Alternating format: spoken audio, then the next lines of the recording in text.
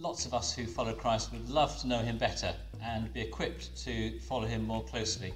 But so much of the training on offer seems to be out of reach to us.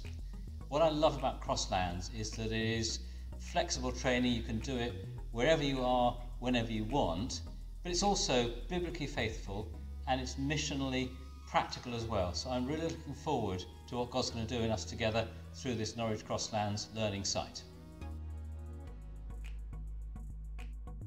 Crosslands is really helping me in my faith. I really enjoyed in the last years to read the Bible. When I heard about Crossland, I thought it's a very good opportunity to get deeper. Deepening my love and knowledge of the Lord as I learn more. I've been looking at a module on the Holy Spirit.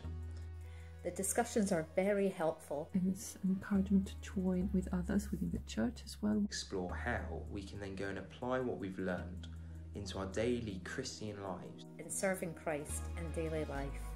Challenge me. And how we can further the spread of the gospel.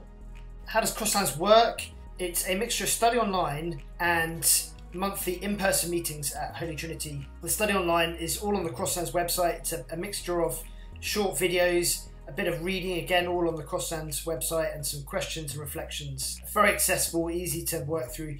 To get the most from it, you'd need to commit about an hour, an hour and a half a week. And then monthly in-person meetings, three a term on a Monday night at Holy Trinity, 7.30 till 9 p.m. We'll be gathering with other churches and with other uh, church leaders and pastors so they chance to uh, enjoy meeting together. What you need to do if you um, want to uh, take things further? Do go to the web page, pick up a flyer about it, uh, and you can sign up on the web page by clicking on the orange button that says sign up.